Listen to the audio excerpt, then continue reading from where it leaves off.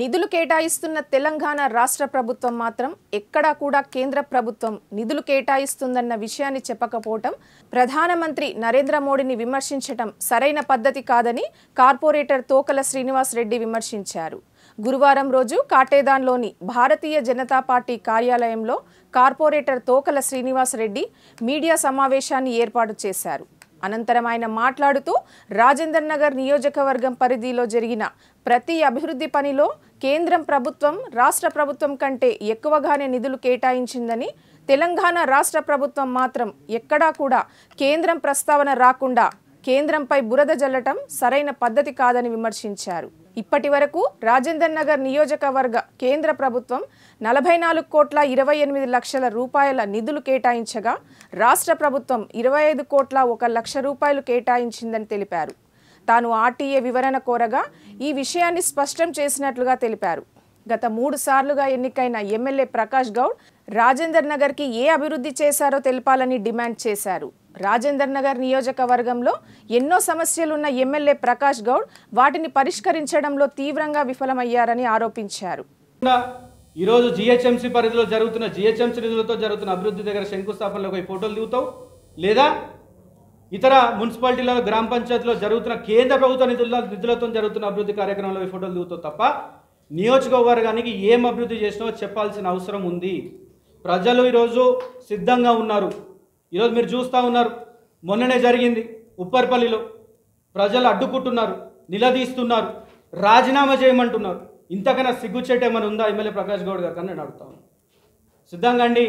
నరేంద్ర మోడీ గారు చెప్పినట్టు యుద్ధం గంభీరంగా కాబోతోంది.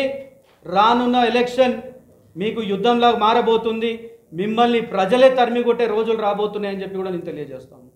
అయితే రాజధాని నియోజకవర్గంలో ప్రజలు అభివృద్ధికి రాజీ పడాల్సి వస్తుంది. ప్రజలు అభివృద్ధికి రాజీ పడాల్సి వస్తుంది. కానీ ఈ ప్రకాష్ గౌడ్ మాత్రం ప్రకాశిస్తూ పోతానే ఉన్నాడు.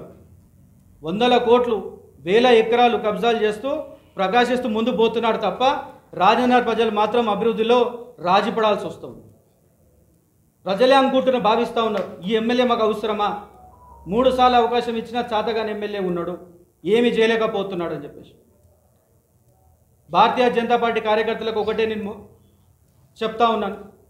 పూర్తిగా రాజన్న నియోజకవర్గంలో చేసిన అభివృద్ధి పూర్తిగా నరేంద్ర మోడీ గారి సహకారంతో కేంద్ర మంత్రి కేంద్ర ప్రభుత్వ సహకారంతో జరిగిన అభివృద్ధి మనందరం కూడా కాలర్ ఎగరేసుకొని తిరగాల్సిన అవసరం ఉంది. ఎవ్వరు కూడా నరేంద్ర మోడీ గారు చెప్పినట్టు నిరుత్సాహపడాల్సిన అవసరం లేదు. మన ప్రధాని గౌరవనీయులు నరేంద్ర మోడీ గారు చెప్పినట్టు నిరుత్సాహ నిరుత్సాహపడాల్సిన అవసరం లేదు. ఖచ్చితంగా రానున్న రోజుల్లో భారతీయ జనతా పార్టీ జెండా ఎగరేసి తీర్థం రాజధాని నియోజకవర్గంలో.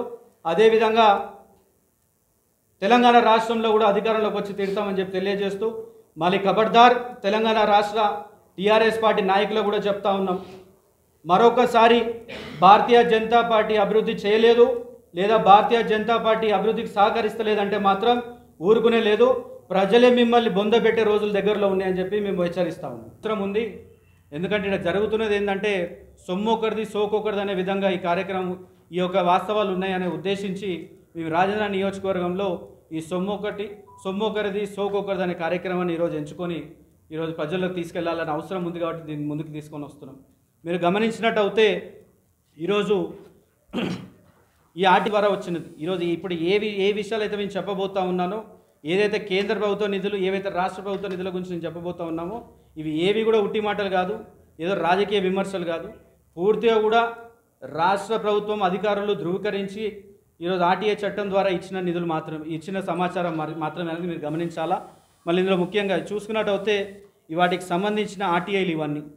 ఇవన్నీ కూడా ఒరిజినల్ కాపీస్ ఆర్టీఐస్ వాళ్ళకి సంబంధించిన ఏవైతే మేము దాఖలు చేయడం జరిగింది వాటికి సంబంధించి వచ్చిన సమాచారం ప్రకారంగా చూస్తే ఈరోజు శంషాబాద్ మండలానికి సంబంధించిన గ్రామాల్లో సుమారుగా ఇరవై ఏడు గ్రామాల్లో ఇప్పటి వరకు తెలంగాణ రాష్ట్రం ఏర్పాటు నుంచి ఇప్పటి వరకు చూసుకున్నట్టు అయితే అంటే రెండు వేల పదిహేను సంవత్సరం నుంచి ఈరోజు వరకు చూసుకున్నట్టు అయితే కేంద్ర ప్రభుత్వం ఇచ్చిన నిధులు పదిహేడు కోట్ల ఎనభై ఒక లక్షలు అవుతే రాష్ట్ర ప్రభుత్వం ఇచ్చింది కేవలం ఎనిమిది లక్షల ఎనిమిది కోట్ల అరవై మూడు లక్షలు మాత్రమే. చేయాల్సిన అవసరం ఉంది. ఈరోజు గ్రామాల్లో ఏ ఏ విధంగా అభివృద్ధి జరుగుతూ ఉంది? జరుగుతున్న అభివృద్ధిలో ఎవరి సహకారం వల్ల ఈ అభివృద్ధి జరుగుతుంది అనేది మీరు అందరూ గమనించాల్సిన అవసరం ఉంది. ఈరోజు గ్రామాల్లో జరుగుతున్న ఏ ఒక్క అభివృద్ధి అయినా ఈరోజు సీసీ రోడ్ కాడ నుంచి వీధి దీపాల కాడ నుంచి వైకుంఠ ధామాలే కావచ్చు తడి చెత్త పొడి చెత్త కేంద్రాలే కావచ్చు లేదా హరితారంలో భాగంగా జరుగుతున్న కార్యక్రమాలే కావచ్చు. అన్నిటిలో కూడా కేంద్రం వాటా కేంద్రం సహకారంతోనే ఈరోజు ఈ యొక్క అభివృద్ధి జరుగుతూ ఉంది. కానీ రాష్ట్ర ప్రభుత్వం ఏం చెప్తుంది? ఈరోజు ప్రజలను మోసం చేస్తూ పూర్తి సహకార పూర్తి ఏదైతే అభివృద్ధి జరుగుతూ ఉందో అది రాష్ట్ర ప్రభుత్వం ద్వారా చేస్తున్నామని చెప్పి సిగ్గు లేకుండా ఈ టీఆర్ఎస్ సంబంధించిన నాయకులు ఎమ్మెల్యేలు అందరూ కూడా పోయి వాటికి ఇనాగ్రేషన్లు చేసి ఫోటోలో పోజ్ ఇచ్చి మేము అభివృద్ధి చేస్తున్నామంటున్నారు అంతేకాకుండా ప్రజలు ఇచ్చిన పన్నుతో అభివృద్ధి చేసుకుంటూ ఈరోజు నేను అడుగుతా ఉన్నా శంషాబాద్ మండలానికి సంబంధించిన ఇరవై ఏడు గ్రామాలకి ఈ ఎమ్మెల్యే ఏం తీసుకొచ్చిండని నేను అడుగుతా ఉన్నా. ఎమ్మెల్యే ప్రకాష్ గౌడ్ దాదాపు మూడు దఫాలుగా ఇప్పటివరకు ఎమ్మెల్యేగా ఉన్నారు కదా ఇప్పటివరకు ఏం అభి ఏం అభివృద్ధి చేసిండు అనేది నేను అడుగుతా ఉన్నా. మరి అంతేకాకుండా